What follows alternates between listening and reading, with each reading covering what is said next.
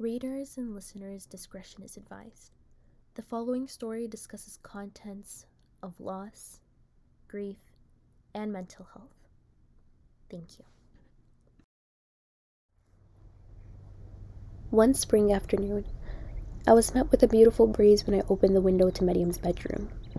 I embraced it as I began to slowly walk back to the center of the empty space that once was engulfed by her belongings.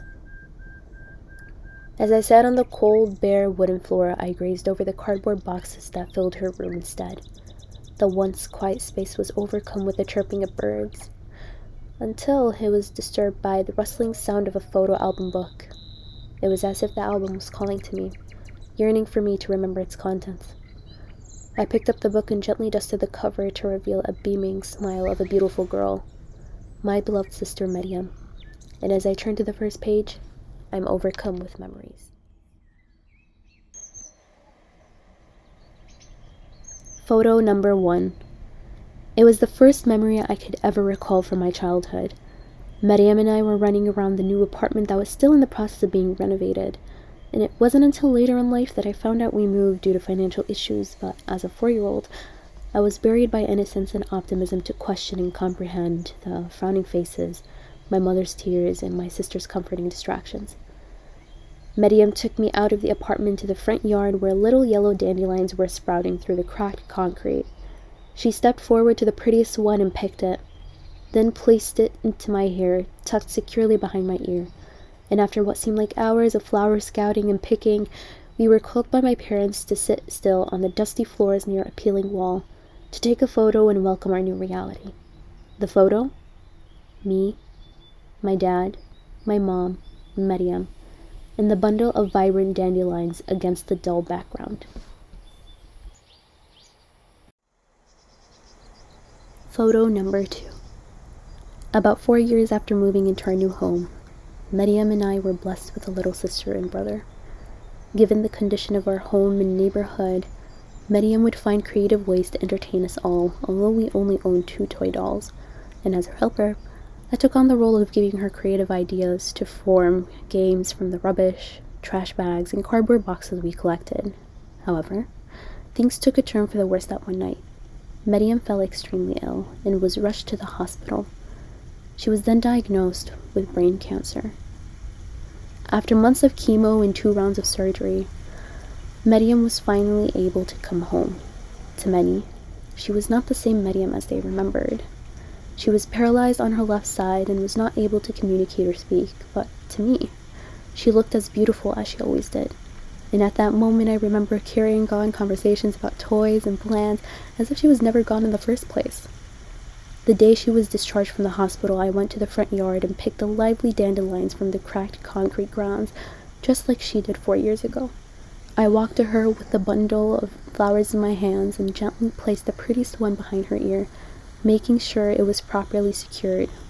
Although she could not verbally thank me, she had the biggest and purest smile I had seen since her sickness. And within those moments, I gently embraced her, making sure I was not hurting her or shifting her from her wheelchair uncomfortably.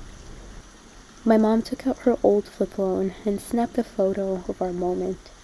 The photo, me, Mariam, and the vibrant yellow dandelion against the white wall. Photo number three. As the weeks drifted by, I would notice Mariam's condition getting worse. The hospital assigned us a home nurse to care for Medium, and because I was the only English speaking individual in my household, I was taught how to use all her medical equipment and learned all the medical terms associated with her condition. My life felt like it came to a breaking point when I noticed my family giving up on her.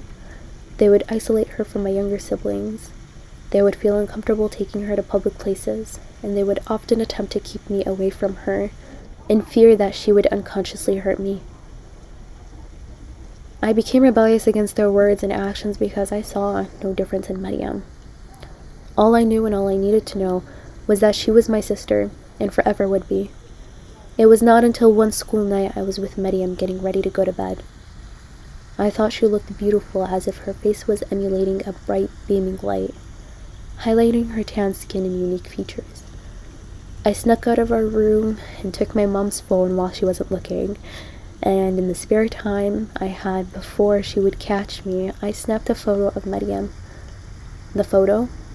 Mariam, her glowing face, and a pink walled background. Little did I know, that photo would be the last one we captured of her.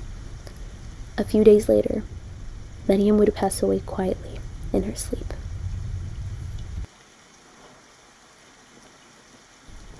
Photo number four. The days, weeks, and months following Mariam's passing were a blur. I really don't recall much of my childhood since she's been gone, and I like to think it's a blessing in disguise. I only want my childhood memories to be filled with her. My mom soon after gave birth to a girl, and as I saw her grow, it was as if I was seeing Mariam growing before me. They both share strikingly similar features from the beautiful curly hair to the big brown eyes and even their smiles. Since then, I took on the role my sister Mariam had in caring for my siblings and protecting them the same way Mariam did for us.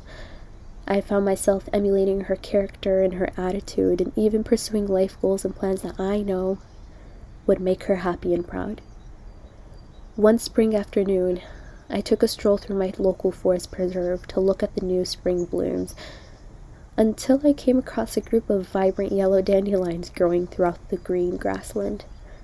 I began to smile as I got closer to them as they reminded me of my times with Mariam, but before I can act upon my instincts and pick them up, I held myself back. Instead, I just admired them from afar, just like my memories with my beloved sister. I took out my phone and snapped a quick photo to remember the moment. The photo bright yellow dandelion flowers in a beautiful green grass field. As I quietly turned and began walking away, I was reminded of a verse from the Holy Quran when Allah says, With every hardship comes ease. Surely, with every hardship comes ease. And indeed, this hardship has slowly been overcome with ease.